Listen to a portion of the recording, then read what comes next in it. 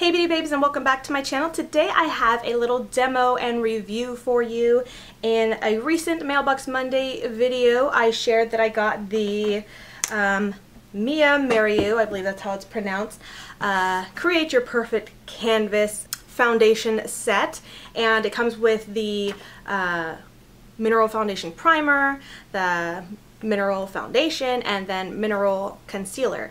The foundation does come in a cream, powder, or liquid formula. I did get the liquid and so I was sent these via Tomoson to review and so I thought it'd be fun or, or give you guys a better idea of the review if I just did a demo showing you guys how it applied, what it looked like, and all that as well as telling you my thoughts. I have been wearing it for the past week and um, so I will just go ahead and get into the demo so you can see how it applies and I'm kind of doing a little talk through as I'm applying it so you, you know, see what I think. So it's a little mini review and then I will have some more information as well as links on my blog, agapelovedesigns.com if you'd like to stop there and check it out. Okay, so we're going to start off with the primer. This primer is really interesting. It's, it's kind of very liquidy. I pour it here, you kind of see the consistency there, um, which is a little bit different than most primers that I'm used to that are more, a little bit thicker in texture. I might have grabbed too much because I was showing you guys how it looks, but oh well.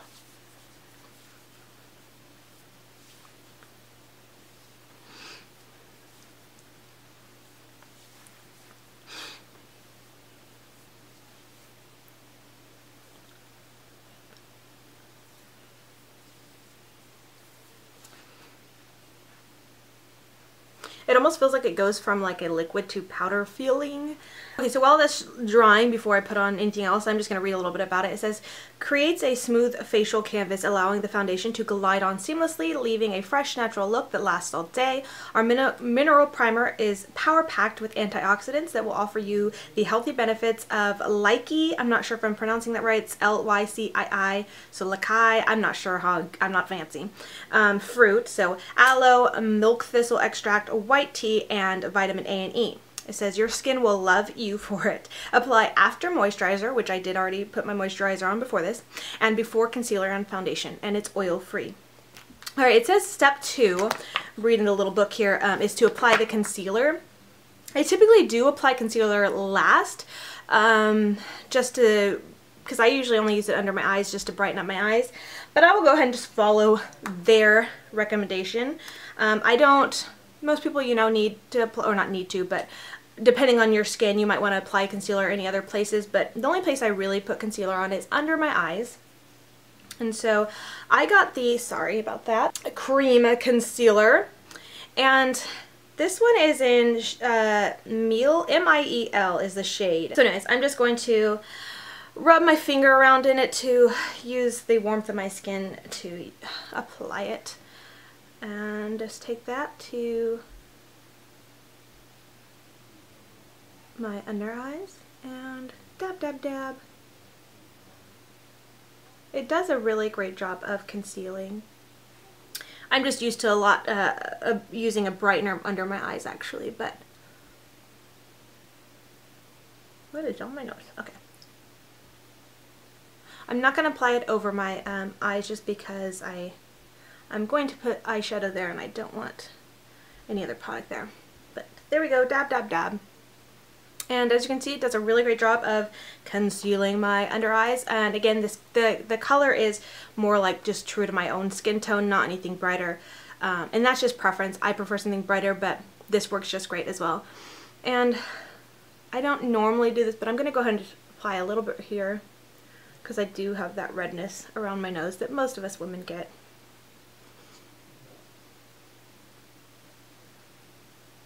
It doesn't take much. This stuff is pretty thick and I'm used to a lot more thinner form formula, thinner consistency on my face. And there we go. After the concealer. Um, and let me just tell you a little bit about the concealer. It says, uh, our cream concealer is an oil-free, high-intensity formula that effectively covers imperfections like dark spots, discoloration, and blemishes for a perfect and even tone. Perfectly balanced to match your skin tone perfectly without ash tones or chalky look. Can be used to camouflage rosacea and severe pigmentation. Contains vitamin A, C, and E. So that's actually really nice. Now they have three different kinds of foundations. They have liquid, um, mineral cream foundation, and then mineral found uh, mineral powder foundation. I decided to get the mineral liquid foundation. So uh, this is actually a really thick full coverage foundation I found. Um, I've been using it the last couple weeks and um, I feel like it dries really quickly um, so you really want to get it on and and because it is thick you you um, you want to just apply a little bit on at a time and if you need to build it up go ahead and do that. So I like to just squirt a pump a little bit. It does have a pump and I like to pump just a little bit in my hand like this. And then I will just take a little bit on my finger and kind of dab wherever I need it all over my face. And I'm used to doing this in my bathroom, not in front of my camera here, so if I'm looking off, it's because I'm kind of sort of using the viewfinder as a mirror. So I've kind of dabbed it all over. I do have my little mirror here, which I will kind of look at.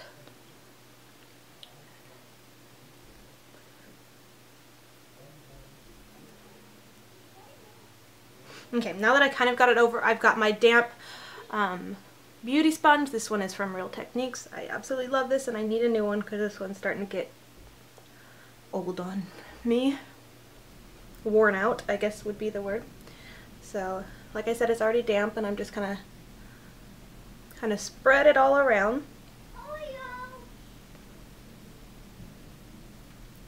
I am very much so used to a lot, like I said before, I think I already just said this, um, thinner consistency foundations, especially in the summer, I, I usually only do um, BB creams or tinted moisturizers. So this did take a little bit of getting used to for me. there was kind of a learning curve when it when it comes to applying. And so I found that this is really the best way because the moisture in the sponge um, really takes away the, the dryness of this formula, for me at least and my skin is already um, more on the dry side. So I'm just gonna check and make sure I got it all blended out and evenly distributed. And see right now, see I'm kind of feeling like I need to add a little bit more concealer. That's why I usually do um, foundation first.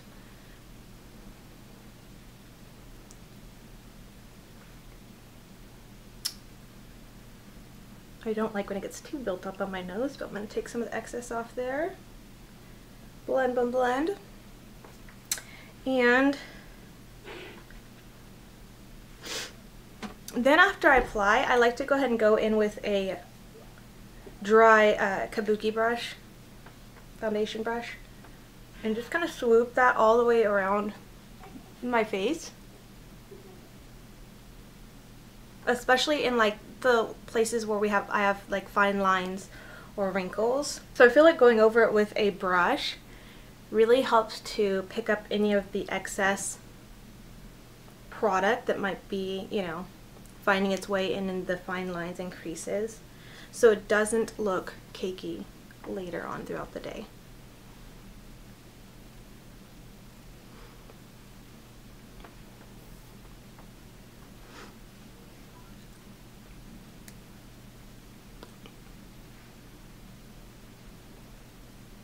Definitely want to make sure to get over here above our lips. We really blend downwards.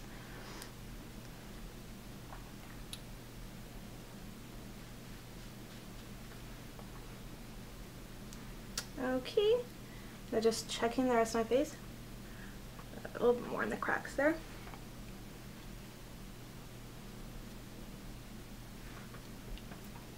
And this is the finished result.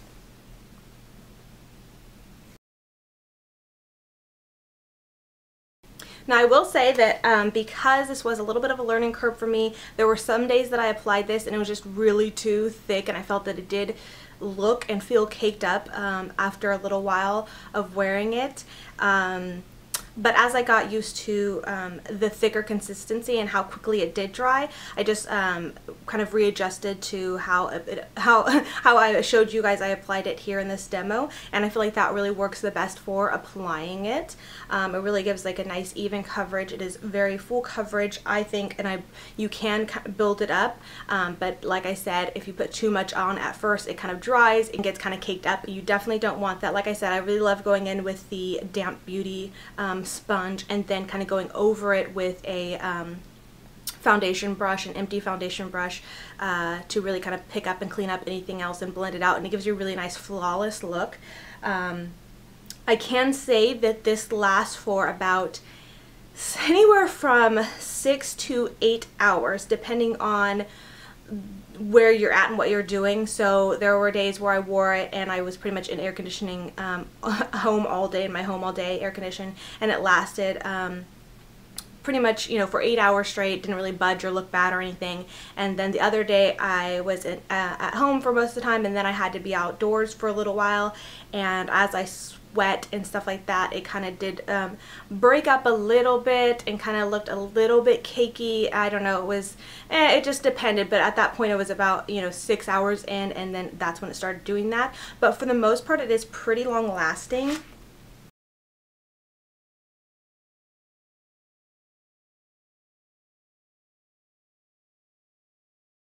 Um, let me just read a little bit about the foundation. It says, deliver oil-free, luminous all-day coverage while delivering the benefits of natural minerals and vitamins. Reduce the appearance of pores, obtain a perfectly matched radiant tone, and enjoy a flawless all-day fini uh, refined finish available in liquid, cream, or loose powder.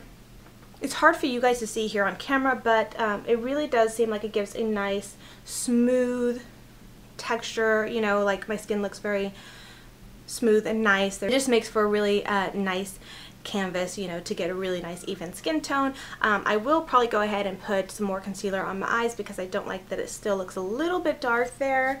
Um, but again, that's probably just because I'm used to wearing something a little bit brighter, like a brightening concealer, um, not something that's perfectly matched with my skin tone. But I mean, as you can see, it does kind of really even out my skin tone, which is really nice. So that is all for my demo here. I hope you guys enjoyed it. Be sure to stop by the blog, agapelovedesigns.com. I will go ahead and probably post some before and after photos there, as well as links and stuff to the site and more information, the stuff that I read, but just kind of written out if you would like to read it for yourselves, um, and all that good stuff.